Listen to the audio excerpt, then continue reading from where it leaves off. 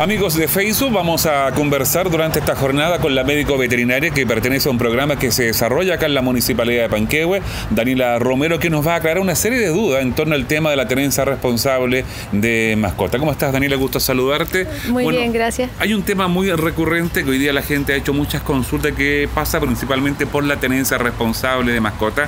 De contar del 12 de febrero ya es obligación tener inscritas las mascotas perro y gato. ¿Por qué no nos cuenta un poco de qué se trata? Ya hay una obligación para los propietarios de las mascotas de registrar a sus animales a través de dos formas. Una, el microchip y otra que es la identificación con una placa externa. Ya, eso es obligación a contar de ahora, que tienen que estar inscritas en las mascotas. Sí. Pero no es necesario que tengan un chip, ¿cierto? Porque ahí entra como la duda, tener el chip o inscribirla. ¿Cuál ¿Cómo nos puede explicar esto?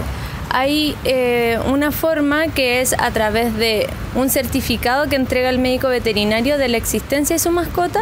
Con ese certificado usted se puede acercar a la municipalidad o hacerlo en su casa a través de la clave única, en donde identifica a su mascota con un código de seis dígitos. Ese código debe ser grabado en una placa y colocado en un collar. Es en el caso de que la gente no tenga instalado el chip de las mascotas. Ahora, si quiere instalarle un chip, ¿dónde tiene que hacerlo? ¿Puede acudir a un veterinario o tiene que venir acá a la municipalidad? Eh, lo puede hacer de manera particular en una clínica veterinaria o optar a los programas de, que entrega la municipalidad que se están haciendo por sector, en donde se puede esterilizar a su mascota y también implantar el microchip o implantar el microchip, colocar las vacunas y desparasitar.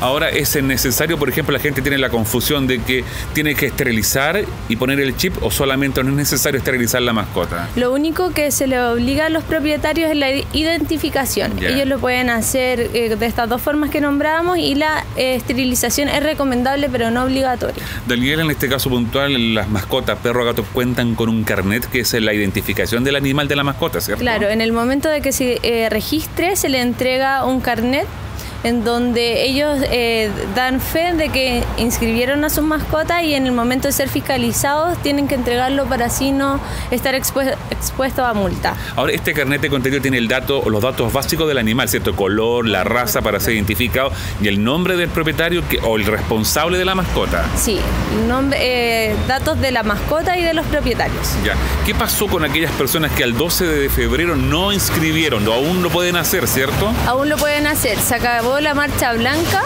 pero y comienza la marcha eh, blanda, que es donde se pone a prueba este mecanismo de inscripción. Ahora, en el caso de los perros de razas bravas que se suelen ver, por ejemplo, aquí también en Panquehue, ¿es obligación hoy día que el dueño salga con un medio de seguridad, con bozal, con correa, no? Claro, en el, al momento de inscribir a mascotas potencialmente peligrosas, eh, se le entregan una serie de recomendaciones y obligaciones que ellos tienen eh, que son, por ejemplo, el uso de bozal, correa, eh, lugar eh, amplio para él poder vivir y también tienen que capacitarse y acudir a una charla y adiestramiento de su animal.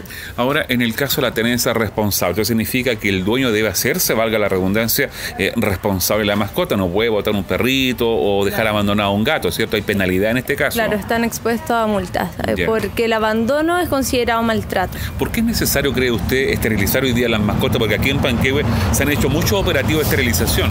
Sí, han tenido buena concurrencia los operativos y hay, aún queda gente que eh, no conoce los beneficios de este tipo de operaciones, como son prevenir cáncer eh, provocados por hormonas, eh, sobre todo en las hembras, y en perros también cáncer testicular, tumores testiculares y de próstata. Finalmente, Daniela, el llamado a los vecinos, ¿dónde se atiende aquí en la municipalidad? ¿Cuál es el horario? ¿Tienen que traer algún tipo de documento para proceder a la inscripción de las mascotas? Cuando vengan a inscribir a sus mascotas deben traer el certificado de implantación de microchip. En el caso de que hayan sido esterilizados, utilizados por programas municipales, está la ficha en, la web, entonces no es necesario este certificado y eh, se tienen que acercar a la oficina de SECPLAC, segundo piso. Te agradezco, Daniela. Daniela Romero, la médico veterinaria, es importante entonces que siga usted cada uno de estos consejos para acoger al programa de la tenencia responsable de mascotas.